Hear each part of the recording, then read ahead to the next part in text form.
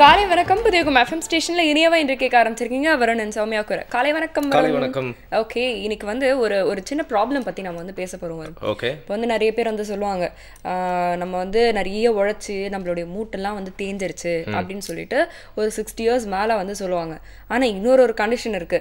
நீங்க வேலையை செய்யலைன்னா தான் வந்து உங்களுடைய எலும்புல வந்து பிரச்சனை வரும் அப்படின்னு சொல்லிட்டு. ஓகே அந்த எலும்புல பிரச்சனை வர்றது என்ன மாதிரியான பிரச்சனைக்கு லீட் பண்ணுது அப்படின்னு சொல்லுங்க. என்ன மாதிரியான பிரச்சனை அப்படின்னா உங்களுடைய எலும்பு பார்த்தீங்கன்னா வந்து ரொம்ப மெல்லிசா மாறி ரொம்ப ஃப்ரெஜைலாக மாறி அது வந்து ரொம்ப ஈஸியாக வந்து வந்து பிரேக் ஆகிடும் சும்மா நீங்கள் லைட்டாக வந்து கீழே விழுந்தாலே வந்து பிரேக் ஆகக்கூடிய ஒரு கண்டிஷன் வரும். அது வந்து ஆஸ்டியோபொரோசிஸ் அப்படின்னு வந்து ஆஸ்டியோபொரோசிஸ் அப்படின்னு சொல்லுவாங்க இல்லையா? அந்த வேர்ட் மட்டும் தான் நம்மளுக்கு தெரியும் பட் அதை பத்தி மேலும் தெரிஞ்சுக்கிறதுக்கு நிறைய விஷயங்கள் இருக்கு அப்படிங்கிறதுக்காக இன்னைக்கு வந்து ஒரு கெஸ்ட் வந்து அதை பத்தி பேச போறாரு. பட் அதுக்கு முன்னாடி நம்மளோட எல்லா விஷயத்தையும் அதாவது மெயினா மைண்டை ஸ்ட்ரென்தன் பண்றதுக்காக ஒரு முத்திரை கத்துக்கலாம். பார்க்கலாம்.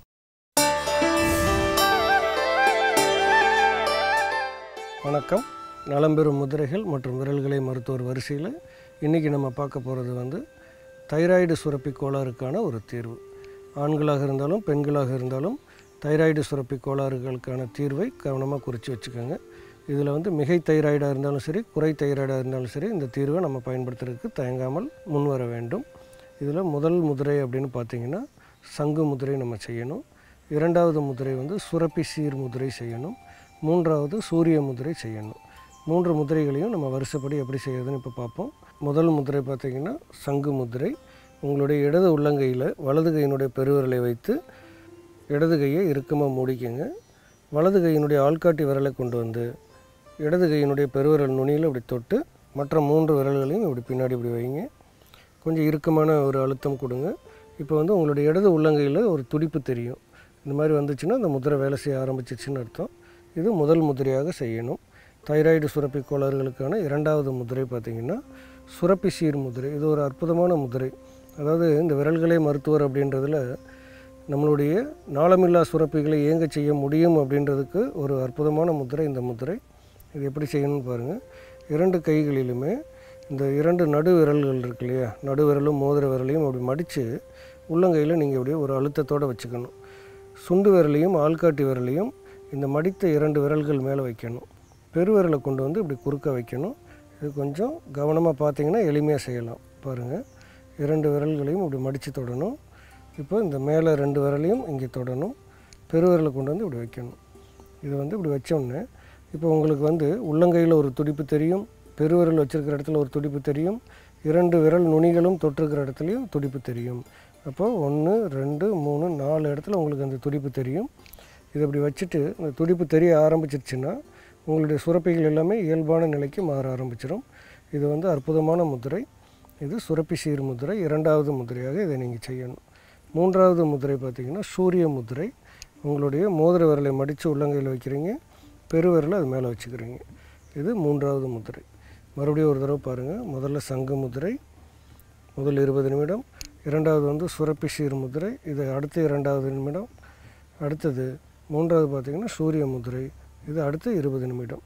இப்படி மூன்று முதிரைகளையும் வருஷப்படி ஒன்றன் பின் ஒன்றாக செஞ்சு முடிச்சிருங்க. மூலிகை தீர்வு அப்படின்னு பார்த்தீங்கன்னா கடல் பாசின்னு ஒன்று இருக்குது. இந்த கடல் பாசி எல்லா கடையிலையும் கிடைக்கும். கடல் பாசியை வாங்கி நீங்கள் வந்து தண்ணியில் கொஞ்ச நேரம் ஊற வச்சு அதை வந்து பால்லையோ இதுலேயோ கலந்து நீங்கள் தாராளமாக சாப்பிடலாம். இது தைராய்டு பிரச்சனை உள்ளவர்களுக்கு ஒரு அற்புதமான ஒரு தீர்வு. குறை தைராய்டாக இருந்தால் இது கூட வந்து நீங்கள் என்ன பண்ணணும்னா கொள்ளு சேர்த்துக்கணும். மிகை தைராய்டாக இருந்துச்சுன்னா எள்ளு சேர்த்துக்கணும். இந்த குறிப்புகளை மட்டும் கவனமாக வச்சுக்கோங்க. தொடர்ந்து பயன்படுத்திட்டு வர்றதுக்கு அற்புதமான தீர்வுகளை நீங்கள் எதிர்பார்க்கலாம். விரைவில் நலம் பெற வாழ்த்துகிறேன். மீண்டும் சந்திப்போம். நன்றி வணக்கம்.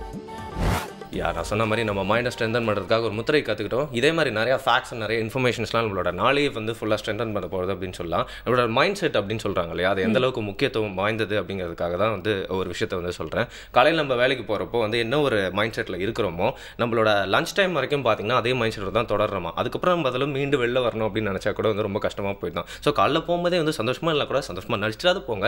இவ்வளோ சந்தோஷமாக இருக்கீங்களேன்னு சொல்லி மற்றவங்களாம் கேட்கறதுனாலே வேறு வழியே இல்லாமல் நீங்கள் மற்ற நாளையும் அப்படியே சந்தோஷமாக ஓட்டிக்கலாம் இல்லையா. ஸோ இப்போ ரெண்டு ஆப்ஷனில் ஏதாவது ஒரு ஆப்ஷனை வந்து சூஸ் பண்ணோம் அப்படின்னு வந்து சொல்றீங்க. இருந்தாலும் அதை பற்றி யோசிக்கிறதுக்கு கொஞ்சம் ஆடியன்ஸ்க்கு டைம் கொடுக்கலாம். அடுத்து வந்து பார்த்தீங்கன்னா நம்ம வந்து ஹேல் அண்ட் ஹெல்த்தியாக இருக்கிறதுக்காக நம்ம போன்ஸ்லாம் வந்து ஃபிட்டாக இருக்கிறதுக்காக இதுக்காக நிறைய விஷயங்கள்லாம் நம்ம வந்து செய்வோம். இன்ஃபேக்ட் வந்து நிறைய பேர் வந்து பார்த்தீங்கன்னா வந்து டாக்டர் ப்ரிஸ்கிரைப் பண்ணி வெறும் கால்சியம் டேப்லெட்ஸ் எடுத்துப்பாங்க. விரும்பின் டேப்லெட்ஸ் எடுத்துப்பாங்க. எதுக்காகனா வந்து கொஞ்சம் ஸ்ட்ரென்த்தாக இருக்கணும். இல்லை எனக்கு இந்த கம்ப்ளைண்ட் இருக்கு அதனால அப்படின்னு சொல்லுவோம் ஆனால் இந்த மாதிரி டேப்லெட்ஸ் இல்லாமல் நம்மளுடைய ஃபுட்லேயே பார்த்தீங்கன்னா அதை நம்ம வந்து சப்ளிமெண்ட் பண்ணிக்க முடியும். இன்ஃபேக்ட் அதுக்கு வந்து நிறைய வகைகள்லாம் நம்ம வந்து கேள்விப்பட்டிருப்போம் இல்லையா? யா அது மட்டும் இல்லாமல் பார்த்தீங்கன்னா அதை தெரிஞ்சுக்கிறதுக்கு அப்படிங்கிறதுக்கு வந்து நிறைய வழிகள் இருந்தாலும் எது சிறந்தது அப்படின்னு தேர்ந்தெடுக்க வேண்டிய சமயம் வந்ததுனால தான் நேச்சுரோபதி மூலியமாக ஒரு விஷயம் தெரிஞ்சுக்க போகிறோம் சொல்லலாம் இல்லையா? பார்க்கலாம்.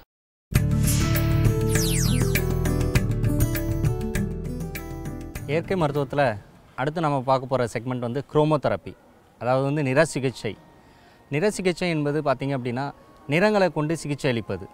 ஸோ நம்ம உடம்ப நேச்சுரோபதியை பொறுத்த வரைக்கும் என்ன சொல்லுவாங்க அப்படின்னா நம்ம உடம்புல வந்துட்டு பல்வேறு க கலர்ஸ் வந்துட்டு இம்பார்ட்டன்ட் ரோல் ப்ளே பண்ணுது. ஸோ என்னென்னு பார்த்தீங்கன்னா ஒவ்வொரு சக்கராஸ் அதாவது வந்து ஏழு சக்கரங்கள் இருக்குது நம்ம உடம்புல. ஒவ்வொரு சக்கரங்களுக்கும் ஒவ்வொரு நிறம் இருக்குது ஃபார் எக்ஸாம்பிள் மூலாதாரா சுவாதிஸ்தானா மணிப்புரா அனஹதா விஷுத்தி ஆஜ்னேயா சஹஸ்ரரா. இந்த மாதிரி ஏழு சக்கரங்கள் இருக்குது ஸோ ஏழு சக்கரமும் ஒவ்வொரு நிறத்தில் இருக்கும். ஸோ அது அதனுடைய நிறத்தில் தான் அது கண்டிப்பாக இருக்கும். ஸோ அந்த கலர் ஒரு வேளை நம்ம உடம்புல டெஃபிஷியன்ட் ஆச்சு அப்படின்னா அந்த கலர்னால என்ன டெஃபிஷியன்சி வருதோ அதனால் நமக்கு நோய் உண்டாகும். இதுதான் குரோமோதெரப்பியுடைய பேசிஸ் ஸோ அதனால் என்ன பண்ணணும்? அந்த கலரை வந்து நம்ம உடம்புல வந்து ரீப்ளேஸ் பண்ணணும். அது எய்தர் பை நம்ம வந்துட்டு ஃபுட் மூலமாகவோ கலர்டு ஃபுட் எந்த கலர் நமக்கு டெஃபிஷியண்ட்டாக இருக்கோ அந்த கலர் ஃபுட்டு சாப்பிட்றது மூலமாக ரீப்ளேஸ் பண்ணலாம். இல்லை அந்த கலர் ட்ரெஸ் போகிறது மூலமாக ரீப்ளேஸ் பண்ணலாம். இல்லை குரோமோ சார்ஜ்டு வாட்டர் அது மூலமாக கூட நம்ம ரீப்ளேஸ் பண்ணலாம். ஸோ நமக்கு என்ன கலர் டெஃபிஷியண்ட்டாக இருக்குன்றதை தெரிஞ்சுக்கிட்டு நம்ம டயக்னோஸ் பண்ணணும். ஸோ அதுக்கு என்ன சொல்லுவாங்க அப்படின்னா குரோமோ டயக்னோசிஸ் அதாவது நம்ம உடம்புல எந்த கலர் குறைவாக இருக்குன்றத குரோமோ டயக்னோசிஸ் மூலமாக கண்டுபிடிப்பாங்க. ஸோ என்ன மோஸ்ட்லி என்ன சொல்லுவாங்க அப்படின்னா நமக்கு என்ன கலர் டெஃபிஷியண்ட்டாக இருக்கோ அந்த கலர்ஸ் தான் நமக்கு ரொம்ப பிடிக்கும் அப்படின்னு சொல்லுவாங்க. ஃபார் எக்ஸாம்பிள் அவர் உடம்புல வந்துட்டு ரெட் கலர் டெஃபிஷியண்ட்டாக இருக்குது அப்படின்னா அவருக்கு ரெட் கலர்ஸ் ரொம்ப பிடிக்கும். For example red colour shirts red colour அவங்களுடைய யூஸ் பண்ணுற க்ளாத்திங்ஸ்லேருந்து மெட்டீரியல்ஸ்லேருந்து எல்லாமே ரெட் கலரில் வச்சுருப்பாங்க. ஸோ இன்கேஸ் அவங்களுக்கு ப்ளூ கலர் டெஃபிஷியன்ஸ் இருந்துச்சுன்னா அவங்க வச்சு யூஸ் பண்ணுற திங்ஸ் எல்லாமே ப்ளூ கலர்ஸில் இருக்கும். ஸோ அதை வச்சு என்ன சொல்லுவாங்கன்னா அந்த அவங்க உடம்புல என்ன கலர் டெஃபிஷியண்ட்டாக இருக்கோ அந்த கலர்ஸ் தான் அவங்களுக்கு அதிகமாக பிடிக்கும் அப்படின்னு சொல்லுவாங்க. அது மட்டும் இல்லாமல் குரோமோ டயக்னோஸ் மட்டும் இல்லாமல் ஈவன் எல்லா டாக்டர்ஸும் யூஸ் பண்ணக்கூடியது டங் கலர்ஸை வச்சு நிறைய விஷயங்களை கண்டுபிடிப்பாங்க. ஃபார் எக்ஸாம்பிள் ஐ கலர்ஸை வச்சு நிறைய விஷயம் கண்டுபிடிப்போம். ஃபார் எக்ஸாம்பிள் ஐ வந்துட்டு எல்லோ கலர் மஞ்சள் கலரில் இருந்துச்சுன்னா ஜாண்டிஸ் அப்படின்னு சொல்லுவாங்க. அதே வந்து டங் ரெட்டிஷாக இருந்துச்சு அப்படின்னா கேஸ்ட்ரைட்டிஸ் அந்த மாதிரி ஏதாவது ப்ராப்ளம் இருக்கலாம். இல்லை இல்லோயிஷாக இருந்துச்சுன்னா ஜாண்டிஸ் அப்படின்னு சொல்லுவாங்க. அதே நேரத்தில் யூரின் கலரை வச்சு ஃபார் எக்ஸாம்பிள் ரெட் கலராக இருந்துச்சு யூரின் அப்படின்னா ரீனல் ப்ராப்ளம்ஸ் இருக்குன்னு அர்த்தம்.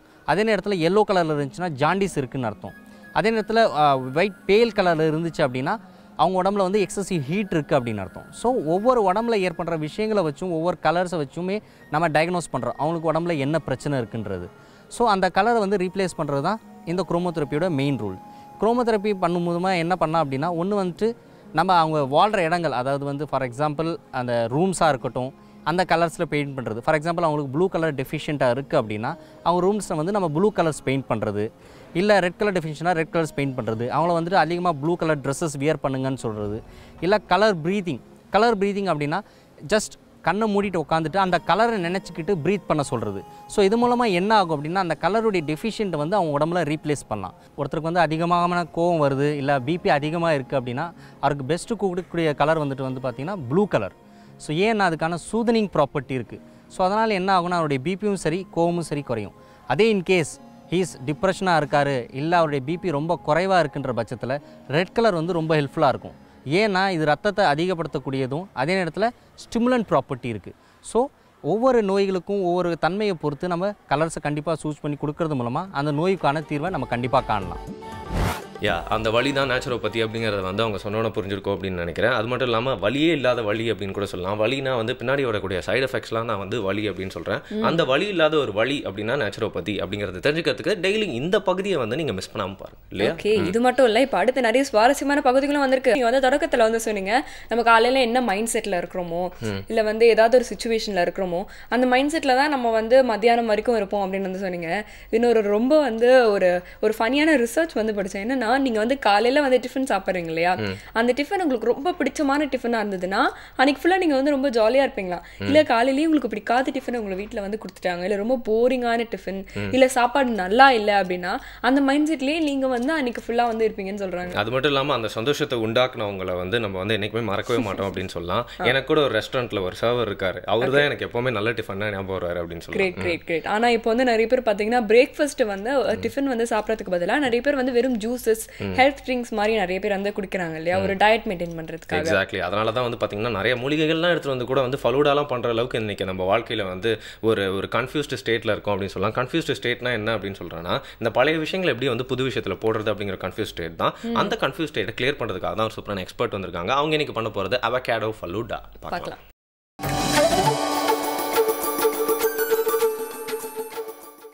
அனைவருக்கும் இனிய காலை வணக்கம். பசுமை உணவுகள் நிகழ்ச்சிக்கு வரவேற்பதில் மிகுந்த மகிழ்ச்சி அடைகிறேன். இன்றைக்கி நம்ம பார்க்க போகிற ரெசிபி வந்து ஃபல்லூட்டாவில் வந்து அவல் யூஸ் பண்ணி பண்ண போகிறோம் இது பார்த்திங்கன்னா மெயினாக குழந்தைகளுக்கு வந்து ச சம்மர் டைமில் அதாவது வந்து ரொம்ப ஹீட்டாக பாடி இருக்குது அப்படிங்கிற மாதிரி நீங்கள் ஃபீல் பண்ணிங்கன்னா இது வந்து நீங்கள் பண்ணி கொடுக்கலாம். ஏன்னா இதில் நம்ம யூஸ் பண்ணுற எல்லாமே வந்து உடம்புக்கு குளிர்ச்சி தரக்கூடிய ஐட்டம்ஸ் தான் நம்ம யூஸ் பண்ண போகிறோம் ஃபஸ்ட் இதுக்கு தேவையான பொருட்கள் என்னென்னு பார்த்துடலாம் கடல் பாசி சப்ஜா விதைகள் சிவப்பு அவுல் தேங்காய்பால் ஆப்பிள் ஆரஞ்சு தேன் நட்ஸு பீட்ரூட் சாறு. இப்போ மேக்ஸிமம் நீங்கள் கடையில் போய் ஃபலூடா வாங்குறீங்கன்னு வச்சுக்கோங்களேன். ஒரு ஒரு இனிப்புக்காக அதே மாதிரி வந்து ஸ்ட்ராபெரி சுவை வரணும் அப்படின்னா ஸ்ட்ராபெரி எசன்ஸ் யூஸ் பண்ணுவாங்க. தென் வந்து ஃபல்லூட்டாவில் வந்து மேக்ஸிமம் நூடுல்ஸை வந்து வேக வச்சு போடுவாங்க. அதே மாதிரி சேமியா போடுவாங்க. இது நம்ம வந்து அடுப்பே யூஸ் பண்ணாமல் பண்ணுறங்காட்டி அவல் யூஸ் பண்ணி ஹெல்த்தியாக ஒரு ஃபலூடா தான் இன்றைக்கி பார்க்க போகிறோம் ஃபஸ்ட் வந்து இந்த கடல் பாசி பற்றி சொல்கிறேன் இப்போ இந்த கடல் பாசி பார்த்தீங்கன்னா நீங்கள் இப்போ மேக்ஸிமம் கடல் அப்படின்ட்டா மீன் நண்டு இந்த மாதிரி யோசிச்சுட்டு வெஜ்ஜு சாப்பிட்றவங்க யாருமே வந்து இதை எடுத்துக்கவே மாட்டாங்க. ஏன்னா இது வந்து ஒரு நான்வெஜ் ஐட்டம் அப்படிங்கிற மாதிரி வந்து அவங்க மைண்டில் ஃபிக்ஸ் பண்ணிட்டாங்க. இப்போ இது பார்த்தீங்கன்னா ஒரு பிளான்ட் தான். அதாவது இது ஒரு செடி வகையை சேர்ந்தது தான். இது வந்து பார்த்திங்கன்னா நான்வெஜ் சாப்பிடாதவங்க வந்து கண்டிப்பாக எடுத்துக்கலாம். பியூர் வெஜ்ஜு தான் இது. குழந்தைங்க ஜெல்லி வாங்கி சாப்பிட்றாங்க. அதில் பார்த்திங்கன்னா இந்த பவுடர்ஸ் யூஸ் பண்ணுவாங்க. அதே மாதிரி வந்து ஜெலட்டின் அப்படின்னு சொல்லிட்டு ஒன்று இருக்குது அது என்னென்னா அனிமலோட டிஷ்யூஸ் இருக்கு இல்லைங்களா? அதுலேருந்து பண்ணுறது இப்போ வெஜ் சாப்பிட்றவங்க கண்டிப்பாக இந்த கடல் பாசி எடுத்துக்கலாம். இல்லை நான்வெஜ்ஜு வெஜ் எல்லாம் சாப்பிட்றவங்க ஜெலட்டின் கூட மாற்றி எடுத்துக்கலாம். பட் இது வந்து ரொம்ப ஹெல்த்தி உடம்புக்கும் குளிர்ச்சி. இதை வந்து நான் ஊற வச்சு வடித்து எடுத்து வச்சுருக்கேன். இப்போ ஃபஸ்ட்டு வந்து இந்த பீட்ரூட் சாறு வந்து இதில் ஃபுல்லாக ஸ்ப்ரெட் பண்ணிக்கலாம்.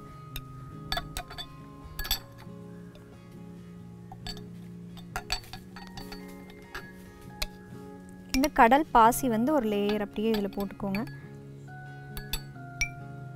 இதில் வந்து ஒரு ஃப்ளேவரும் இருக்காது. ஸ்வீட்டு சால்ட் எதுவுமே இருக்காது. ஜஸ்ட் ஒரு ஊறின மாதிரி ஒரு இப்போ ஜவ்வரிசியெல்லாம் ஊர்னா எப்படி இருக்குது அந்த மாதிரி இருக்கும்னு வச்சுக்கோங்களேன். இதில் ஒரு ஃப்ளேவருமே இருக்காது. நம்ம வந்து இதில் ஆட் பண்ணுற ஐட்டம்ஸில் தான் வந்து இதோட ஃப்ளேவர் கிடைக்கும். தென் வந்து சப்ஜா சீட்ஸ் எடுத்திருக்கேன். இந்த சப்ஜா சீட்ஸ் அப்படிங்கிறது என்னன்னு பார்த்தீங்கன்னா நார்மலாக வந்து நம்ம வீட்டுக்கு முன்னாடி திருநீர் பத்தினி செடி வச்சுருப்போம். அதோட விதை இருக்கும் ஆனால் அதை நம்ம என்ன பண்ணுறது எதுக்கு யூஸ் பண்ணுறது எதுவுமே நம்மளுக்கு தெரியாது. இப்போ எந்த ஒரு ஐட்டமே வந்து நம்மளுக்கு ஈஸியாக கிடைக்குதுன்னு வச்சுக்கோங்களேன் அதோட பெனிஃபிட்ஸ் நம்மளுக்கு தெரியாது.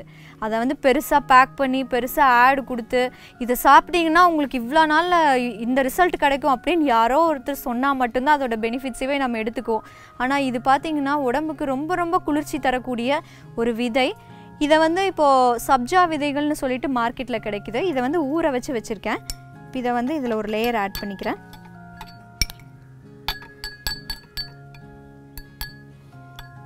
தென் அவல் சிவப்பு அவல் யூஸ் பண்ணியிருக்கேன்.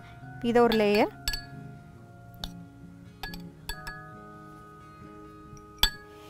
தென் ஃப்ரூட்ஸ் நீங்கள் இதில் வந்து எந்த ஃப்ரூட் வேணாலும் யூஸ் பண்ணிக்கலாம். ஸ்ட்ராபெரி யூஸ் பண்ணலாம். அதே மாதிரி ஆப்பிள் யூஸ் பண்ணலாம். உங்களுக்கு வீட்டில் என்ன அவைலபிளாக இருக்கோ அந்த ஃப்ரூட்ஸ் யூஸ் பண்ணிக்கலாம். நான் இது வந்து தோலோடு போட்டிருக்கேன். இப்போ மேக்ஸிமம் வந்து இந்த வேக்ஸ் இல்லாத ஆப்பிள்ஸ் நீங்கள் வாங்கி இந்த தோலோடு யூஸ் பண்ணிட்டீங்கன்னா இதில் இருக்க ஃபைபர் வந்து உங்களுக்கு ஃபுல்லாகவே கிடைக்கும். தென் கொஞ்சமாக நட்ஸ் இதில் போட்டுக்கிறேன். இப்போ இந்த ஃபல்லூட்டா பொறுத்த வரைக்கும் பார்த்தீங்கன்னா இந்த ப்ரெசன்டேஷனில் தான் வந்து சாப்பிட்ற ஒரு இன்ட்ரெஸ்ட் வரும்.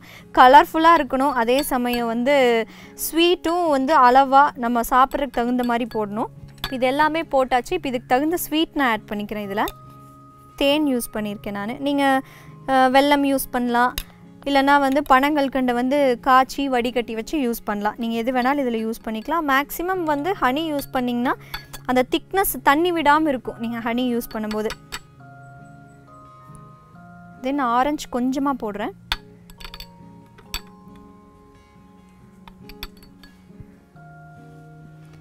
அப்புறம் லைட்டாக ஒரே ஒரு ஸ்பூன் தேங்காய் பால். நல்லா கெட்டியாக அரைச்சி எடுத்துக்கோங்க. தண்ணி மாதிரி எடுத்துடாதீங்க அப்போ சாப்பிடும்போது ஒரு மாதிரி ரொம்ப தண்ணியாக இருக்க மாதிரி இருக்கும். நெக்ஸ்ட் வந்து இதில் பீட்ரூட் சாறு திருப்பியும் மேலே ஊற்றிக்கிறேன் அதாவது இது பார்க்கும்போது உங்களுக்கு ரொம்ப கலர்ஃபுல்லாக இருக்கும். நம்ம ஆர்டிஃபிஷியல் ஃப்ளேவர்ஸ் எதுவுமே யூஸ் பண்ணல. இதை இது சாப்பிடும்போதும் ஹெல்த்தி உடம்புக்கும் எந்த கெட்டதும் நம்மளுக்கு வராது.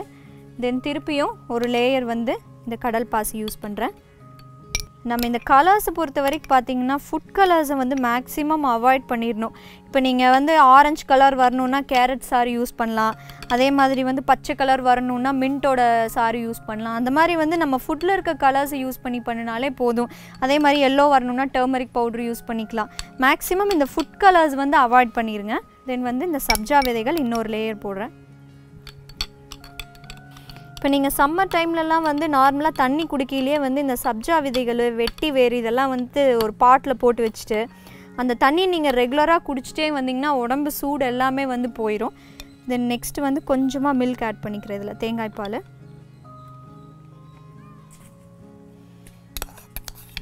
தென் ஆப்பிள்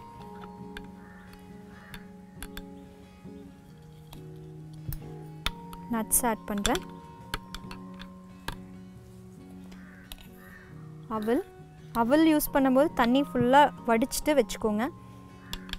இப்போ இது மார்னிங் வந்து அவசரமாக குழந்தைங்க ஸ்கூலுக்கு போகிறாங்க அப்போ வந்து பார்த்திங்கன்னா இது ஜஸ்ட் நீங்கள் போட்டு கொடுத்துட்டிங்கன்னா டக்குன்னு நாலு ஸ்பூன் எடுத்து சாப்பிட்டாலே இதில் நம்ம ஃப்ரூட்ஸ் ஆட் பண்ணியிருக்கோம். தேங்காய் பால் ஆட் பண்ணியிருக்கோம் அவல் ஆட் பண்ணியிருக்கோம். ஒரு நல்ல ஃபில்லிங் கிடைக்கும் காலையில். இதை லைட்டாக ஒரு ஃப்ரிட்ஜில் வச்சு கொஞ்சமாக சில்னஸோடு கொடுத்திங்கன்னா ஒரு மாதிரி ரெஃப்ரெஷ்மெண்ட்டாக இருக்கும் காலையில். இதை எடுத்துக்கிட்டாங்கன்னா தென் இதுக்கு தேவையான ஹனி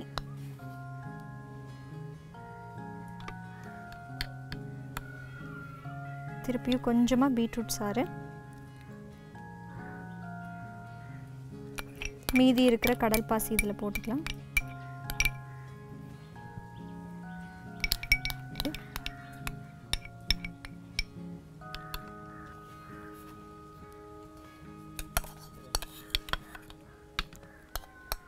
ஆரஞ்சு போட்டுடலாம் மீதி இருக்கிற அவல். இது ஜஸ்ட் நீங்கள் டேபிளில் எடுத்து வச்சிட்டிங்கனாலே இதோட ப்ரெசன்டேஷன் இதோட கலரை பார்த்து அவங்களே எடுத்து சாப்பிட்ருவாங்க தேங்காய் பால் ஆட் பண்ணிக்கிற மேலே. லைட்டாக திருப்பியும் பீட்ரூட் சாறு. மேலே மா மேலே கொஞ்சமாக ஊற்றிக்கங்க அது பார்க்கையில் ரொம்ப கலர்ஃபுல்லாக இருக்கும். தென் வந்து நட்ஸு ஹனி மேலே மேலாப்பில் கொஞ்சமாக ஊற்றிருங்க ஏன்னா அது சாப்பிடும்போது நல்லாயிருக்கும்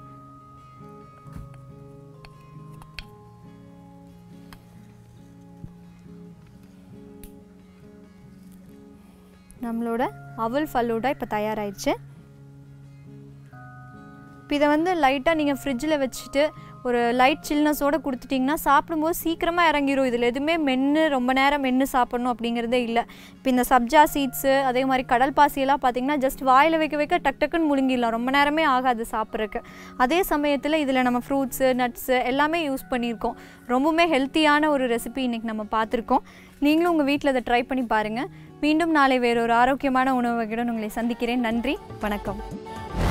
அவகேரோ ஃபலூடா வந்து வாயில் சொல்கிறதுக்கே ஒரு டிஃப்ரெண்ட் டேஸ்ட் வருது. இப்போ குடிச்சு பார்த்தா எப்படி இருக்குன்றது நீங்கள் தான் உங்கள் வீட்டில் ட்ரை பண்ணி பார்க்கணும். அதுக்காக தான் இந்த மாதிரி ஒரு எக்ஸ்பர்ட் கூட நாங்கள் வந்து உங்களுக்கு அந்த வழியெல்லாம் சொல்லி காமிச்சோம். பட் நம்ம எலும்புங்கள்லாம் என்றைக்குமே பார்த்தீங்கன்னா அயன் கூட ஸ்டீல் கூட கம்பேர் பண்ணுவாங்க. அது வந்து பட்டர் மாதிரி சாஃப்ட் ஆகிடக்கூடாது அப்படிங்கிறதுக்காக தான் இன்றைக்கி ஆஸ்டியோபோரோசிஸ் அப்படிங்கிற ஒரு பிரச்சனையை பற்றி தெரிஞ்சுக்கிறதுக்காக பேசுறதுக்காக ஒரு டாக்டர் கூப்பிட்டுருக்கோம். அவர் வந்து நம்மளுக்கு நிறைய விஷயங்கள்லாம் சொல்ல போகிறார் இன்னைக்கு வந்து ஆஸ்டியோபரோசிஸ் டே பேரே கொஞ்சம் டஃபாக தான் இருக்கு இல்லையா? Exactly it's the first time இந்த மாதிரி ஒரு டேர்ம் நான் யூஸ் பண்ணுறேன் அப்படின்னு சொல்லலாம். ஸோ இந்த ஆஸ்டியோபோரோசிஸ் அப்படிங்கிற விஷயத்தை பற்றி சொல்றதுக்காக யார் வந்திருக்காங்க? ஓகே ஒரு ஸ்பெஷல் கெஸ்ட் நம்ம ஸ்டுடியோக்கு வந்திருக்காங்க.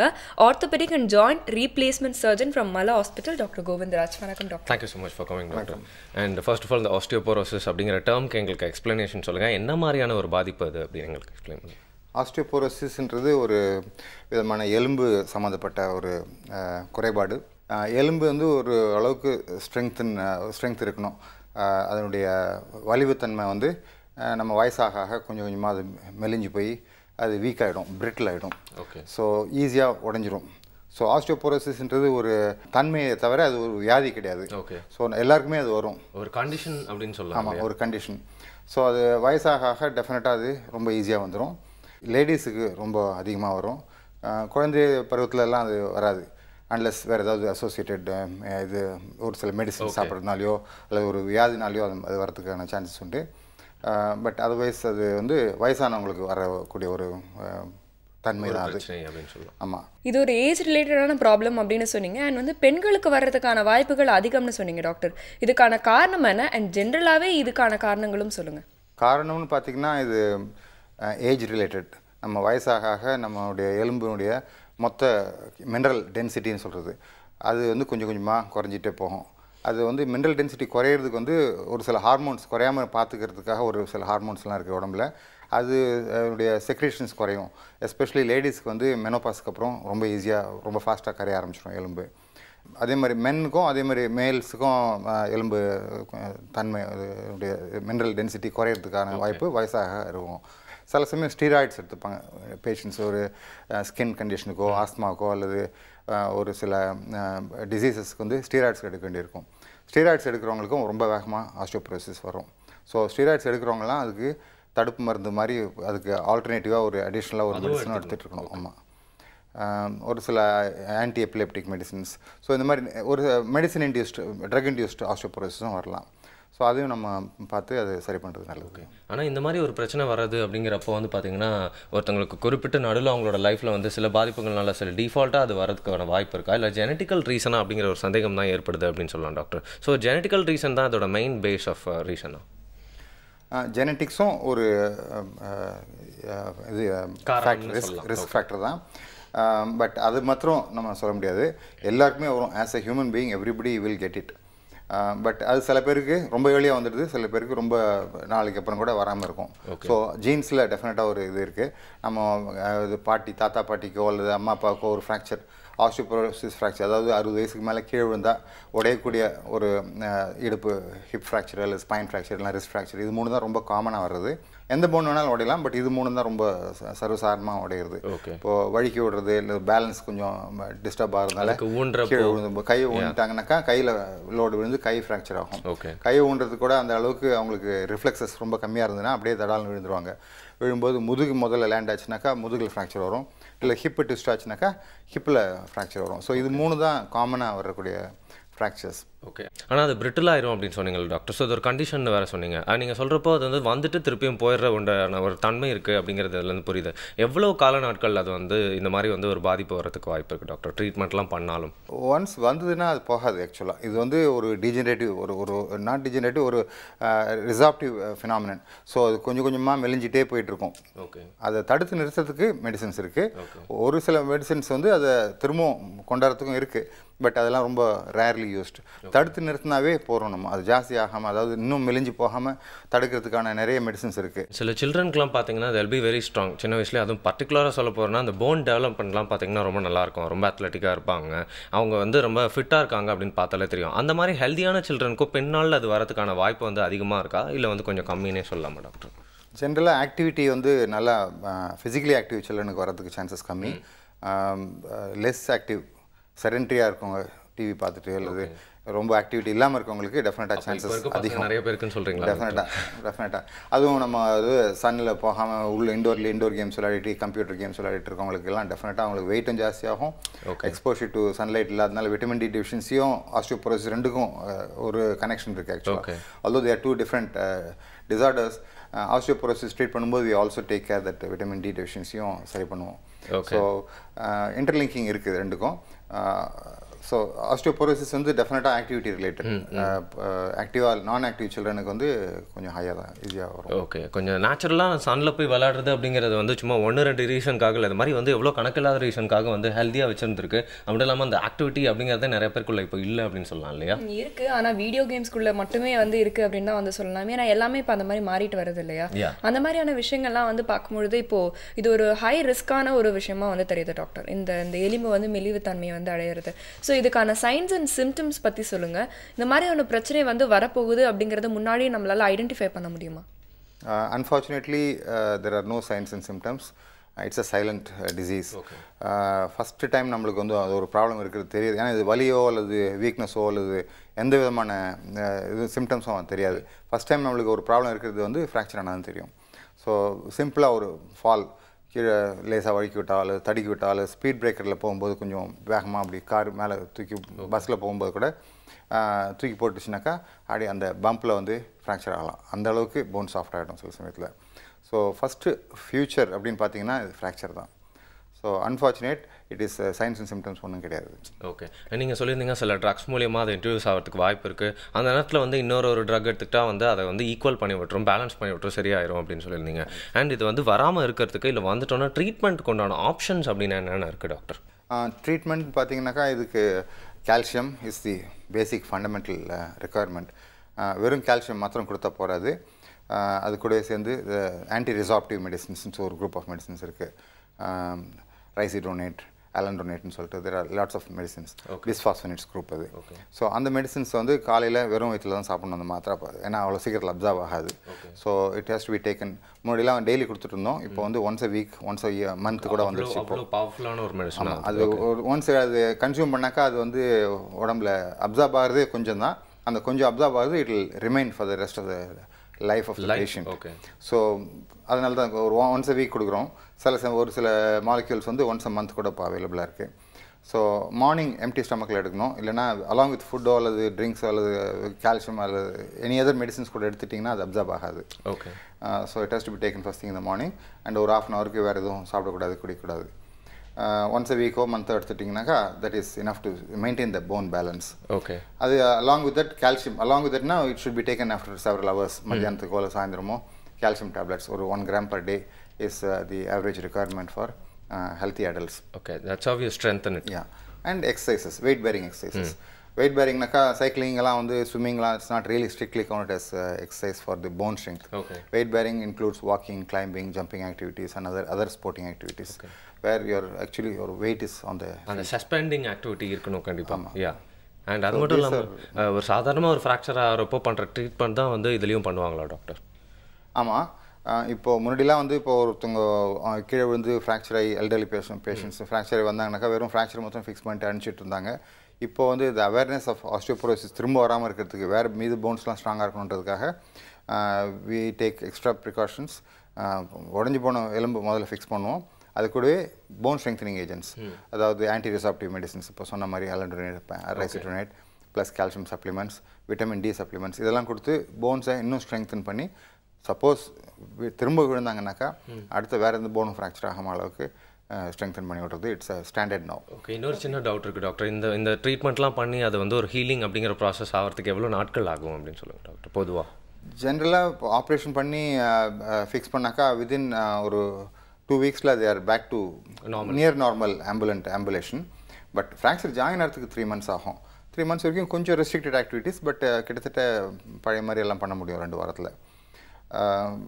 ரிஸ்ட் ஃப்ராக்சர்ஸ்லாம் வந்து சில சமயம் நம்ம வெறும் மாவு கட்டிலெலாம் போட்டு ட்ரீட் பண்ணோம்னா சிக்ஸ் வீக்ஸில் சரியாயிடும். ஓகே இந்த ஹாப்பிங் வந்து நீங்க வந்து ப்ராக்டிஸ் பண்ணியிருக்கிறீங்க அவர் ஸ்கூல் டேஸ்லலாம் வந்து இந்த நொண்டி விளையாடுறதுன்னு கூட வந்து சொல்லுவாங்களே. யா எனக்கு கூட ஒரு காலில் அடிப்படிச்சுன்னா நொண்டி நொண்டி தான் ஸ்கூலுக்கே போவேன் அடிபடுறது இல்லைங்க நான் விளையாடுறதே வந்து யா ஹாப்பிங் விளையாட்டு நீங்கள் சொல்கிறீங்க யா ஓகே யா இன்ஃபேக்ட் கொஞ்சம் வந்து ஒரு ஃபிஃப்டி ஆர் சிக்ஸ்டி வந்து தாண்டினதுக்கு அப்புறம் டெய்லி வந்து வாக்கிங் போறாங்கல்ல அப்போ கொஞ்சம் ஹாப்பிங்கும் வந்து பண்ணா போன் டென்சிட்டி வந்து அதிகமாகுமா? நீங்கள் என்ன எப்படி சொல்கிறீங்க டக்குனு பிரிட்டிலாக இருந்து உடஞ்சிச்சுன்னா என்ன பண்ணுறது அட இல்லைங்க. அவ்வளோ பிரிட்டில் ஆகுறதுக்கு முன்னாடியே இந்த ஒரு ப்ராக்டிஸை வந்து பண்ணிட்டே இருந்தா உங்களுக்கு வந்து இந்த ஒரு கண்டிஷன் வராம தவிர்க்கலாம்னு யூகேல ஒரு ரிசர்ச் சொல்றாங்க. இட் ஸ்ட்ரென்தன் இட் அப்படிங்கிறாங்களா? உங்களுக்கு அங்கங்கே எலும்புலாம் லைட்டாக வலிக்கிற மாதிரி இருக்கா? ஒருவேளை அது வந்து ஆஸ்டரோபோரோசிஸாக கூட இருக்கலாம் அப்படின்னு சொல்லிட்டு உங்களை லைட்டாக பயமுறுத்தி மட்டும் இல்லாமல் நிறைய அவேர்னஸ்லாம் கொடுக்கறதுக்காக தான் இந்த டேல இதை பற்றி பேசிட்டு இருக்கோம் அப்படின்னு சொல்லலாம். இது வந்து பார்த்தீங்கன்னா டக்குனு எலும்பை வந்து ரொம்ப வீக் ஆக்கி பிரிட்டில் ஆக்கி உடைய வச்சிரும் அப்படிங்கிறது இது வரைக்கும் புரியுது இல்லையா? அது மட்டும் இல்லாம வந்து இதுக்கு வந்து என்னென்ன ட்ரீட்மெண்ட்ஸ் இருக்கு அப்படிங்கிற சந்தேகமும் நம்மளுக்கு இருக்கு. இன்னும் நிறைய கேள்விகளும் இருக்கு. ஸோ தொடர்ந்து பேசலாம். ப்ரிகாஷன்ஸ் பற்றி வந்து சொல்லுங்கள் டாக்டர் இப்போ வந்து நியூட்ரிஷன் எக்ஸசைஸ் அது மட்டும் இல்லாமல் வந்து இப்போ நியூட்ரிஷன் அப்படின்னு நம்ம எடுத்துக்கிட்டோம்னா போன்ஸ்னாலே நம்மளுக்கு கால்சியம் தான் ஞாபகத்துக்கு வரும். ஸோ எந்த மாதிரியான ஃபுட் அண்ட் சப்ளிமெண்ட்ரி ஃபுட்ஸ் வந்து நம்ம எடுத்துக்கணும்? அண்ட் எக்ஸசைஸஸ் எந்த மாதிரி வந்து கீப்பாக பண்ணணும்? அண்ட் வந்து பார்த்தீங்கன்னா இப்போது ஒருத்தருக்கு வந்து வயசாகும் பொழுது தான் இந்த பிரச்சனை வரும் அப்படின்னா மிடில் ஏஜ்லேருந்து தான் இதுக்காக ரொம்ப வந்து ப்ரிகாஷனாக அதுக்கான நியூட்ரிஷன் அண்ட் எக்ஸசைஸ் ஆரம்பிக்கணுமா? இந்த சின்ன வயசுலேருந்தே இதுக்காகவே நம்ம வந்து யோசிச்சு அதுக்கான நியூட்ரிஷன் அண்ட் எக்ஸசைசஸ் வந்து கொடுக்கணுமா? சின்ன வயசுலேருந்தே இது நம்ம தயார்படுத்திக்கிறது நல்லது தான் in fact this only disease where obesity is a favourable condition ஏன்னா நம்ம அவ்வளோ ஹெவியாக இருக்கிறதுனால your carrying so much of weight and walking so your bones are generally stronger osteoporosis relatively less common நம்ம ஒபியஸாக இருக்கவங்களுக்கு. ஸோ சின்ன வயசுலேருந்தே நம்ம அத்லெட்டிக்காக இருந்து hyper act I mean not hyper active ஆக்டிவாக இருந்து எல்லா ஸ்போர்ட்ஸ்லையும் பார்ட்டிசிபேட் பண்ணி ஹெல்த்தியாக இருந்தாக்கா chance of getting osteoporosis in later age is much lesser plus we have to see look into other causes like I mentioned any drug induced வேறு ஏதாவது எடுத்துகிட்டு இருந்தாக்கா டெஃபினட்டாக சப்ளிமெண்டல் ரிசாப்டி ஆன்டி ரிசாப்டி கொடுக்கணும். இப்போ ஸ்டீராய்ட்ஸ் நிறைய பேர் ஸ்டீராய்ட்ஸ் எடுத்துகிட்டு இருக்காங்க ஃபார் வேரியஸ் ரீசன்ஸ் ஸோ அவங்களுக்கு வந்து supplement கொடுத்தாக்கா we can prevent bone weakening and fracture plus lot of things measures are there to prevent falls in the first place so we are now running a program uh, for preventing falls. Our community reach போயிட்டு நாங்கள் we're giving a lot of uh, talks to elderly people to uh, advise them how to avoid falling in the first place mainly elderly people okay ஏன்னா they are the ones who easily fall they are the ones who have weak bones they are the ones who can easily fracture so அவங்கள வந்து நம்ம prepare பண்ணா prevent uh, we can uh, prevent them from falling down in the first place So அதுக்கு வந்து நம்ம எப்படி fall பண்ணுறது prevent பண்ணுறதான்னு சொல்லிட்டு ஜென்ரலாக கேட்கலாம். But there are lots of very specific measures like testing the eyes to prevent any visual problems looking for any drug induce இப்போ எழுந்த உடனே மயக்கம் வரும் சில பேருக்கு லோ பிபினால ஸோ இந்த மாதிரிலாம் ஏதாவது ப்ராப்ளம் இருந்ததுன்னா அதை ரெக்டிஃபை பண்ணாக்கா கீழே விழுறதை தடுக்கலாம். கீழே விழுறதை தடுத்துட்டாக்கா ஃப்ராக்சர் ஆகிறதையும் தடுக்கலாம்.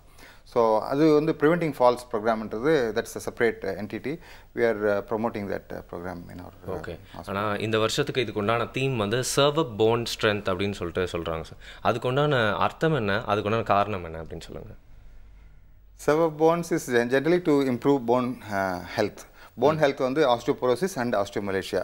Yeah, இது ரெண்டுமே important things ஆஸ்டியோமலேஷியான்றது vitamin D deficiency related problem நம்ம டயட்டில் வந்து we not getting enough vitamin D and sunlight also is another important source of vitamin D ரெண்டுமே நம்மளுக்கு கொஞ்சம் குறைவாக இருக்கிறதுனால vitamin D deficiency is very rampant Okay. இப்போ ஒரு நூறு பேர் நம்ம ஜென்ரலாக ஒரு பாப்புலேஷன் எடுத்து நூறு பேரை டெஸ்ட் பண்ணி பார்த்தீங்கன்னா கிட்டத்தட்ட நைன்ட்டி பர்சன்ட் வந்து they have low vitamin D so ஜென்ரலாக வந்து it's better good idea to either go out and expose yourself in the sun இல்லை you can take vitamin D supplements supplements are much easier now because நம்ம என்னதான் வெளில போயிட்டு சன்ல expose பண்ணாலும் it takes a long time and lot of effort and practically speaking it's not always possible of course if you are able to do it that's fine but இல்லைனாக்கா it's better to go for take some supplement supplements are not very expensive and it is very easy to replace very common also common yeah நீங்கள் சொல்கிற மாதிரி பார்த்தா வந்து வெளியில் போயிட்டு இப்போலாம் வெயிலில் இருக்கிறது அப்படிங்கிற ஒரு வேலை மாதிரி நிறைய பேர் ரொம்ப ட்ரை பண்ணி செஞ்சுட்டு இருக்காங்க இருந்தாலும் நம்மளோட லைஃப் ஸ்டைலில் பார்த்தீங்கன்னா நிறையா ஒரு ஃபுட் ஹேபிட்ஸ்லாம் குட் ஃபுட் ஹேபிட்ஸ் இருந்துச்சு. லைஃப் ஸ்டைலில் நிறைய விஷயங்கள் நம்மளை வந்து ஃபுட்டில் சேர்த்துட்டு இருந்தோம்.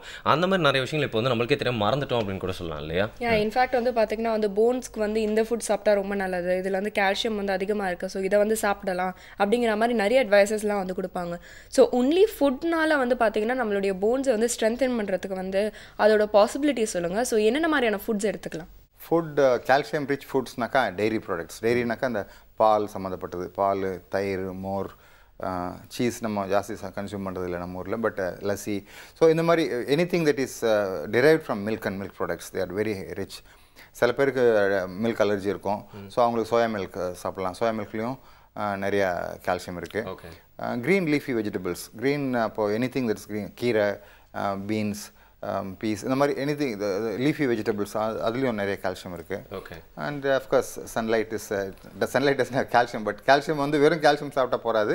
Vitamin D is and very important component of calcium. Vitamin D இல்லைன்னா கால்சியம் நம்ம என்ன சாப்பிட்டாலும் அது அப்சர்வ் ஆகாது. So they are hand in glove so ரெண்டுமே நம்ம கான்சன்ட்ரேட் பண்ணணும். ஸோ கால்சியம் டயட்னு பார்த்தீங்கன்னா mainly it's dairy products and green leafy vegetables நாங்கள் உங்ககிட்ட கேட்ட எல்லாமே வந்து ஃபேக்ட்ஸ் தான் டாக்டர் பட் நிறைய பேர் வந்து இதை பற்றி தெரியாமல் நிறைய மித்ஸ்லாம் கிரியேட் பண்ணி வச்சிருப்பாங்க. ஸோ இதை பற்றி ஜென்ரலாக இருக்க மித்ஸ்னால் நீங்கள் கடந்து வந்தது உங்கள் எக்ஸ்பீரியன்ஸில் என்னன்னு சொல்லுங்கள் டாக்டர் மித்ஸ்னாக்கா கால்சியம் டெஸ்ட் பண்ணுவாங்க சில பேர் போயிட்டு. Blood serum calcium serum calcium டெஸ்ட்டுக்கும் bone ஸ்ட்ரென்த்துக்கும் எந்த சம்மந்தமும் கிடையாது. Okay. ஸோ எவ்ரிபடி திங்ஸ் நம்ம சீரம் கால்சியம் நார்மலாக இருந்தால் போன்ஸ்லாம் நார்மல் அப்படின்னு சொல்லிட்டு. It's a complete fallacy. It's it's not serum calcium is at the time நம்ம டெஸ்ட் பண்ணும்போது உங்கள் சீரத்தில் எவ்வளோ இட்ஸ் லைக் டெல்லிங் உங்கள் பர்ஸில் இப்போ எவ்வளோ பணம் இருக்குது இப்போ நீங்கள் நிறைய பணம் இருந்தால் நீங்கள் பணக்காரரா. உங்கள் பேங்க்கில் எவ்வளோ இருக்கு இருக்கிறது தான் முக்கியம். ஸோ பேங்க் பேலன்ஸ் பார்த்தீங்கன்னா that is depends on the bone strength. அதுக்கு வந்து போன் மினரல் டென்ஸ்டோமெட்ரின்னு ஒரு டெஸ்ட் இருக்குது அதை பார்த்தா தான் நம்ம ஆக்சுவல் போன் ஸ்ட்ரென்த் சொல்ல முடியும். ஸோ நிறைய பேர் போயிட்டு கால்சியம் டெஸ்ட் ஒன்று பண்ணிவிட்டு என் கால்சியம் நார்மலாக இருக்குது நான் எனக்கு கால்சியம் தேவையில்ல நினச்சிட்டு இருப்பாங்க. That is a wrong myth இப்போ என்கிட்ட ஒரு இன்ஃபர்மேஷன் இருக்குது அது சரியா தப்பான்றதில் வந்து எனக்கே டவுட் இருக்குது ஏன்னா வந்து இப்போ நிறைய பேர் வந்து எக்ஸசைசஸ் நிறைய வந்து பண்ணுவாங்க. ஐ மீன் ஒர்க் அவுட்ஸ் நிறைய பண்ணுறாங்க இல்லையா? அதே மாதிரி வந்து இந்த ஆத்லீட்ஸ்லாம் இருக்காங்க இல்லையா? ஸோ இவங்கள மாதிரி இருக்கிற ஒரு ஆர்டின் ஸ்போர்ட்ஸ் பர்சனுக்குலாம் வந்து ஃப்யூச்சரில் வந்து இந்த எலும்பு வந்து மெல்லிசா ஆகிடும். அதனால் இவங்களுக்கு இந்த மாதிரியான பிரச்சனைகள் வரதுக்கு வாய்ப்பு இருக்குன்னா கூட வந்து சொல்கிறாங்க இது எந்த அளவுக்கு true doctor it is true over intelligence in sports also is not a good thing to the point of injuring yourself அதாவது நம்ம எல்லாத்துக்கும் ஒரு ஒரு அளவு இருக்குது அதை மீறி நம்ம எக்ஸசைஸ் பண்ணோன்னாக்கா ஆஸ்டியோபோரோசிஸ் வராது but osteoarthritis and other ligament related problems வரும் எண்டோ என்தியோசோபதிஸ் அப்படின்னு சொல்லிட்டு ஒரு சில ம conditions which will affect the bone and joint function so over intelligence in sports also is not a good idea without supervision gym போகிறது நல்லது தான் but spending three hours and four hours இந்த gym is not at all required more than half an hour is not requirement ஒரு half an ஹவரில் you can do whatever you need to do and come back to your normal schedule gym ட்ரைனராக இருந்தால் மட்டும் தான் அவ்வளோ நேரம் அங்கே இருக்கிறதுக்கான ஒரு தேவை இருக்குது அப்படின்னு சொல்லுறேன் அண்ட் மெடிக்கல் அட்வான்ஸ்மெண்ட்ஸ் அப்படின்னா எப்படி வந்திருக்குன்னு சொல்லுங்க டாக்டர் இந்த மாதிரி விஷயங்களுக்கு நம்மளோட ஊரில். ஃபார் ஆஸ்டியோபோரோசிஸ் ஆஸ்டியோபோரோசிஸில் வந்து நாங்கள் when I started my practice ஒரு தேர்ட்டி இயர்ஸ் முன்னாடி ஆன்டி ரெசாப்டிவ் மெடிசின்ஸே கிடையாது the only treatment for osteoporosis was fix the fracture and send the patient home அந்த ability to understand why it is happening அதை எப்படி ப்ரிவென்ட் பண்ணுறதுன்றதுலாம் it was not there இப்போ now today we have first இனிஷியலாக வந்து daily tablets இந்த morning empty ஸ்டொமக்கில் சாப்பிட்றது. நிறைய பேருக்கு பிடிக்காது. டெய்லி காலையில் சாப்பிட்டுட்டு ஹாஃப் அன் ஹவர் உட்காந்துருக்கணும் அதுவும் அசிடிட்டி இருக்கவங்களுக்குலாம் ப்ராப்ளம் இருக்கும்னு சொல்லிட்டு they're not taking it then they found out that ஒரு வாரத்துக்கு ஒரு தடவை அந்த மாத்திரையை சாப்பிட்டா கூட ஒன்றும் சைடு எஃபெக்ட் இருக்காது. அதே குட் எஃபெக்ட் இருக்குன்னு சொல்லிட்டு. So that is that was an advancement are all thrilled. Once a week tablet வந்திருக்குன்ட்டு. Then அதே இப்போ ஒன்ஸ் அ மந்த் ஆகி இப்போ ஒன்ஸ் இயர் ஆயிடுச்சு. ஒன்ஸ் இயர் இன்ஜெக்ஷன் ஒரு இன்ஜெக்ஷன் கொடுத்தா போகிறோம் இப்போ. You can achieve the same effects.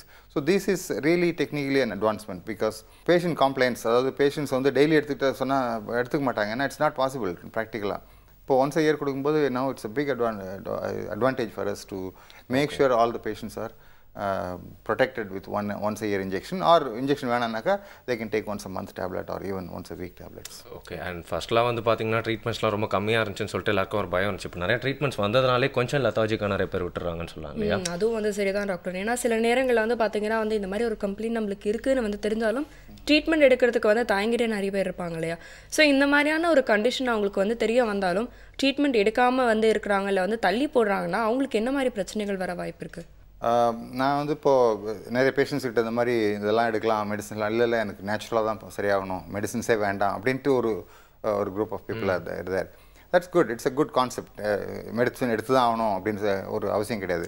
நேச்சுரலாகவே நம்ம டயட்லேயோ அல்லது சன்லைட்லேயோ அல்லது ஆக்டிவிட்டீஸ்லையோ இம்ப்ரூவ் பண்ணுறது it's a very good concept it's very good thought but sometimes it's not achievable நம்ம அவர் டார்கெட் இஸ் மீட் பண்ணுற அளவுக்கு அவங்களால பண்ணுறது கொஞ்சம் கஷ்டம். ஸோ அந்த மாதிரி பண்ணாமல் இருக்கவங்களுக்கு ரிஸ்க் இஸ் ஆல்வேஸ் ஃப்ராக்சர்ஸ் தான். So they have to be more careful they have to not fall down கீழே விழுந்தாக்கா that's risk of fracture is definitely higher than people are well protected okay இந்த மாதிரி ஒரு பிரச்சனை இருக்குது அப்படிங்கிறத வந்து இன்றைக்கி நீங்கள் சொல்ல சொல்ல தான் வந்து ஆஸ் அ ஹோல் திங் அந்த பிரச்சனையோட பேஸ் என்ன அப்படின்னே புரிஞ்சுது. அது மட்டும் இல்லாமல் இந்த மாதிரி ஒரு பிரச்சனைக்கு உண்டான ரிஸ்க் என்ன அப்படிங்கிறதையும் சொல்லியிருந்தீங்க. அதுக்கான க்யூரும் சொல்லியிருந்தீங்க அப்படின்னு சொல்லலாம். ஸோ ஒரு குட்டி டாபிக் எடுத்து அதை பற்றி வந்து மெயினாக நிறைய விஷயங்கள்லாம் கவர் பண்ண மாதிரி இருந்துச்சு. இன்னொரு நாளில் இதே மாதிரி ஒரு புது பிரச்சனையை பற்றி இல்லை ஒரு புது விஷயத்தை பற்றி எங்களுக்கு தெரிஞ்சுக்கிறதுக்கு உங்க கூட ஒரு வாய்ப்பு கிடைக்கும் அப்படின்னு நம்புகிறோம் thank you so much for time thank you so much doctor இப்போ வந்து இந்த ஆஸ்டியோ ப்ராசஸ் பற்றி வந்து டாக்டர் வந்து நிறைய விஷயங்கள் வந்து சொன்னாங்க. இன்ஃபேக்ட் சின்ன வயசுல இருந்தே அதுக்காக வந்து நம்மளுடைய எஃபர்ட் வந்து கொஞ்சம் இருக்கணும் அப்படின்னு வந்து சொல்றாரு இல்லையா. நிறைய வந்து ஓடி ஆடி விளையாடணும்னு சொல்லிட்டு போயிருக்காரு. யா அதுவெல்லாம் சொல்லிட்டு போனால் கூட நம்ம வாழ்க்கையில் எதை வந்து செய்கிறோம் அப்படிங்கிறது தான் கடைசியில் நிச்சயமாக இருக்கும். டெய்லி நல்ல விஷயங்கள்லாம் கேட்கலாம் பட் எதை செய்கிறோம் அப்படிங்கிறது தான் முக்கியம் அப்படின்னு சொல்லிடலாம் இல்லையா? இதே மாதிரி நிறைய நல்ல விஷயம்லாம் வந்து காலங்காலமாக சொல்லிட்டே தான் வராங்க. பொதுவாக பார்த்தீங்கன்னா கிளைமேக்ஸில் இந்த நீதிபதி சீன்லாம் வரப்போ வந்து அவர் சொல்லுவார் ஆயிரம் குற்றவாளிகள் கூட விடுவிக்கப்படலாம். ஒரு நிரபராதி கூட தண்டிக்கப்படக்கூடாது அப்படின்னு சொல்லிட்டு அப்படியே வந்து ஒரு ஃபீலிங்லாம் கொண்டு வருவாங்க அப்படின்னு அப்படின்னு சொல்லலாம் இல்லையா? அது வந்து உண்மை அப்படின்னா கூட வந்து நம்ம நாட்டில் நடப்பில் வந்து எந்த அளவுக்கு ப்ராக்டிக்கலாக அது வந்து செயல்பட்டு இருக்கு அப்படிங்கிறது வந்து தெரியல. இருந்தாலும் வந்து பார்த்தீங்கன்னா எல்லாருமே இந்த நியாயம் அப்படிங்கிறது அவங்க பக்கம் இருக்கப்போ அதுக்காக போராடுறாங்க. ஆனால் நியாயம் அப்படிங்கிறது வந்து பார்த்தீங்கன்னா ஒருத்தர் மூலியமாக சாஞ்சா அவங்க மூலியமாக பெனிஃபிட்ஸ் கிடைக்கணும் இல்லை ஒருத்தர்கிட்ட பவர் இருக்குது அவ்வளோ நம்மளை எதாவது செஞ்சிட முடியும் அப்படின்னு பயப்படுறாங்க அப்படின்னா வந்து அந்த நியாயத்தை விட்டுட்டு வந்து பார்த்தீங்கன்னா அநியாயம் பக்கம்லாம் சாஞ்சிடுறாங்க அப்படின்னு சொல்லலாம். ஸோ என்றைக்குமே எந்த விஷயம் எந்த ஒரு பெரிய ஒரு பாதிப்பு உங்களுக்கு ஏற்படும்னு நினச்சா கூட நீங்கள் நியாயத்து பக்கமே இருக்கணும் அப்படிங்கிறது தான் நியதி. ஓகே ஒரு பெரிய கருத்து சொல்லியிருக்கீங்க. நானே வந்து பார்த்தீங்கன்னா புரட்சிகரமாக கருத்து சொல்கிறேன் இவ்வளோ ட்ரை பண்ணுறேன்னா இறையன் பாய் சார் எப்படிலாம் சொல்லுவார் அதை பற்றி பார்க்கலாம்.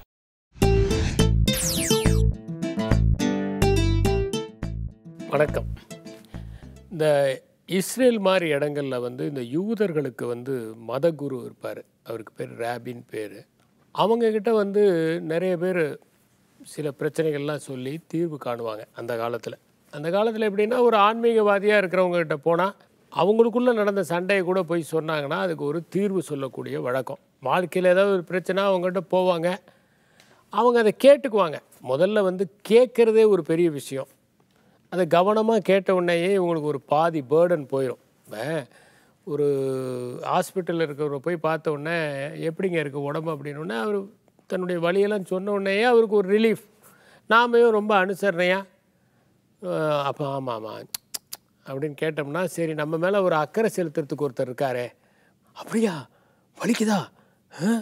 அப்படின்னு கேட்டோம்னா அவருக்கு இன்னும் ரெண்டு மடங்கு ஆயிரம் வலி. அது கேட்குறதுல ஒரு கன்சர்னோட ஒரு எம்பத்தியோடு கேட்கணும். அது ரொம்ப ரொம்ப முக்கியம். அது மாதிரி இந்த ரேபிஸ்ட்டை போய் ஊருக்கு மக்கள் வந்து போய் சில பிரச்சனைகள்லாம் சொன்னாங்கன்னா அவர் நியாயம் சொல்லுவார் அதை கேட்டுக்கிடுவாங்க. அந்த ஊரில் ஒரு மருத்துவர் இருந்திருக்கார். அந்த காலத்தில் நான் சொல்கிறது ஒரு ஆயிரத்தி ஐநூறு வருஷத்துக்கு முன்னாடி. பச்சிலை இதெல்லாம் கொடுத்து தானே அந்த காலத்தில் வைத்தியம் பார்க்குறது? அந்த மாதிரி ஒரு சமாச்சாரம் தான் அப்போ ஒருத்தர் அவர் வந்து சலவை செய்கிறவர் சலவை தொழிலாளி அவர் பொண்டாட்டிக்கு உடம்பு சரியில்லை. ரொம்ப உடம்பு முடியல. இவர் என்ன பண்ணார்? பொண்டாட்டியை தூக்கிக்கிட்டு போய் அவருடைய கிட்ட அவர்கிட்ட போட்டு ஐயா குணப்படுத்துங்க அப்படிங்கிறாரு. உடனே அவர் சொல்கிறாரு இதை வந்து குணப்படுத்த முடியாதியா? அப்படிங்கிறாரு. இந்த பாருங்கள் நிறைய பணம் கொடுக்குறேன் உங்களுக்கு. என் பணம் எல்லாத்தையும் உங்களுக்கு கொடுத்துட்றேன் குணப்படுத்துங்க. எவ்வளவு பணம் கொடுத்தாலும் குணப்படுத்த முடியாதியா? அப்படிங்கிறாரு இந்த மருத்துவர். குணப்படுத்தினாலும் சரி கொன்னாலும் சரி நான் பணம் கொடுக்குறேன் ட்ரீட் பண்ணுங்க அப்படின்னு சொல்லிட்டு போயிடுறாரு. இவர் வந்து நிறைய மருந்துங்கிறதெல்லாம் கலந்து கொடுக்குறாரு. ஆனால் ஒன்றும் முடியல அது போய் சேர்ந்துருது இந்த அம்மா. கொண்டு போய் புதைச்சிட்டு வந்துடுறாரு அவர் உடனே இந்த மருத்துவர் நீ பணம் கொடுக்க எங்கேயா பணம்னு கேட்குறாரு நான் பணம்லாம் கொடுக்க முடியாதுங்க. அநியாயமாக இருக்குது. நீங்கள் சொன்னீங்க அப்படின்னு. ஒரு அல்ல அல்ல அவசரத்தில் அப்படி சொல்ல வேண்டியது தான் அதெல்லாம் நீங்கள் சீரியஸாக எடுத்துக்க முடியுமா? அப்படிங்கிறான் இவன். இப்போ இந்த வழக்கு கொண்டு போய் ராபி கிட்ட கொடுக்குறாங்க. ராபி எப்படி பார்ப்பாருன்னா இவர் பாவம் ஏழை. ரெண்டாவது பொண்டாட்டி இழந்ததே ஒரு சோகம். சொத்தையும் இழந்துட்டா என்ன பண்ணுவான்? சில பேருக்கு பொண்டாட்டியே சொத்தாக இருப்பாங்க. அப்படி பார்த்தீங்கன்னா ரெண்டு சொத்து போ போயிருமே. யோசிச்சார் இவர் ராபி. சரி என்ன அவங்க அக்ரிமெண்ட்டு கடைசியில் இவர் என்ன சொன்னார்? நீங்கள் க்யூர் பண்ணாலும் சரி கொன்னாலும் சரி நான் உங்களுக்கு பணம் தந்துடுறேன் அப்படின்னாரு இவர். அப்படிங்கிறார். அப்படியா? சரி நீ க்யூர் பண்ணியா அந்த அம்மாவை? அந்த அம்மா பொழைச்சிட்டாங்களா? இல்லையே. சரி அப்போ நீ தான் கொன்னையா? எந்த எந்த மருத்துவராவது நான் தான் கொண்டேன்னு சொல்ல முடியுமா? இல்லை. இப்போ தான் ரெண்டுமே செய்யலை அப்புறம் எப்படி பணம் தருவார்? போயிட்டு வா அப்படின்ட்டார். எவ்வளோ ஒரு சாமர்த்தியமான பதில் பாருங்கள் நீ குணப்படுத்தினியா? குணப்படுத்தினா உயிரோடு இருந்திருக்கணும். அதுக்கு வந்து இல்லை ஆமாம் குணப்படுத்துகிறேன் ஏன்னா அவர் சிகிச்சை தான் அளித்தார். பட் இந்த ஆள் எவ்வளோ க்ளீனாக சொல்கிறான் பாருங்கள் whether you cure her or kill her நீ குணப்படுத்தினாலும் சரி கொன்னாலும் சரி நான் பணத்தை தரேன். இப்போ குணப்படுத்தினேன்னு சொல்ல முடியாது ஏன்னா உயிரோடு இல்லை அந்த அம்மா. ஒரு மருத்துவர் வந்து நான் தான் கொன்னேன்னு சொல்ல முடியுமா? சொல்ல முடியாது. அதனால் அவர் அந்த சலவை தொழிலாளியை காப்பாற்றி விட்டார் அப்படின்னு சொல்லி ஒரு சம்பவம். இந்த நியாயம் சொல்கிறதுங்கிறதுங்க ரொம்ப ரொம்ப ஷார்ப்பாக இருக்கிறவங்களால தான் நியாயம் சொல்ல முடியும். இப்போ சாதாரணமாகவே ஒரு ஃபைல்லையோ அல்லது ஒரு பிரச்சனையிலையோ எதுலேயுமே அல்லது ஒரு ஊரில் ஒரு நடக்கிற ஒரு பஞ்சாயத்துலேயே கூட ஒரு நியாயம் சொல்கிறது அப்படின்னு வரும்போது ரொம்ப கவனமாக எல்லாத்தையும் பார்த்து எல்லா பக்கத்துலேயும் இருக்கக்கூடிய நியாயங்களை வந்து எடை போட்டு தான் நம்ம சொல்ல முடியும். அதை சாதாரணமாக சொல்லிடவே முடியாது. இன்னும் சொல்லப்போனால் அதை விட கடினமானது எதுவுமே கிடையாது. அதில் யார் அஃபெக்ட் ஆவாங்களோ யார் ரொம்ப பாதிக்கப்பட்டவங்களோ அவங்க பக்கம் நின்று கொண்டு சொல்ல வேண்டியது தான் அந்த எம்பத்தி சில நேரங்களில் பார்த்தீங்கன்னா ஏன் வந்து நாம் நினை சொல்கிறோம் அதாவது எவிடன்ஸ் ரொம்ப முக்கியம். ஒரு நிரபராதி ஒருபோதும் தண்டிக்கப்படக்கூடாது. பெனிஃபிட் ஆஃப் டவுட் அப்படிங்கிற ஒரு வார்த்தையெல்லாம் ஏன் நம்ம சொல்கிறோம் அப்படின்னா எங்கேயாவது ஒரு களங்கமற்ற மனிதன் ஒரு தண்டனையை அனுபவித்தால் என்ன ஆகும்? அது ஒரு பேட் எக்ஸாம்பிளாக போயிடும் நியாயமாக வாழ்கிற பலருக்கு வந்து அவங்களுடைய முறையில் வந்து அதை குறைவுபடுத்தி விட்டுரும். அதனால் எந்த காலத்திலும் நியாயமானவர்கள் தண்டிக்கப்படக்கூடாது. அதனால் நம்ம எந்த ஒரு விஷயத்தையும் ஒரு நியாயத்தை கேட்கும்போது ரொம்ப உன்னிப்பாக அதில் யார் பரிதாபமானவங்களோ அவர்கள் பக்கம் நின்று கொண்டு அவர்களுக்காக வாதிடுவதும் அவர்களுக்காக பரிந்து பேசுவதும் வாழ்க்கையில் அவசியம். நன்றி வணக்கம்.